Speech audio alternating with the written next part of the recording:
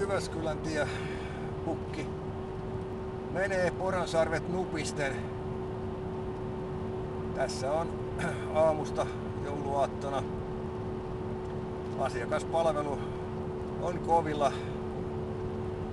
Lähdetään liikkeelle niin, että Petterin puna kuono vain vähän lankataan ja sitten matkaan käy. Ja kuten huomaatte, niin Petterin kumilapikkaat vaan kumisevat alla, kun mennä porhalletaan tyyliin juokse porosein, juokse porosein. Ja niin kuin näette, Petterikin vetää noin 100 kilometriä tunnissa moottoritie vauhtia.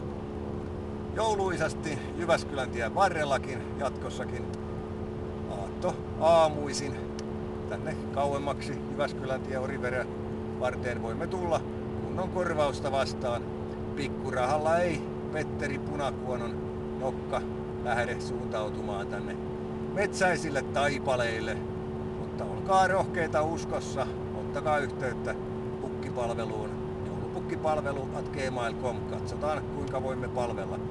Ottakaa joulun henki avuksi, kun on aika jouluinen.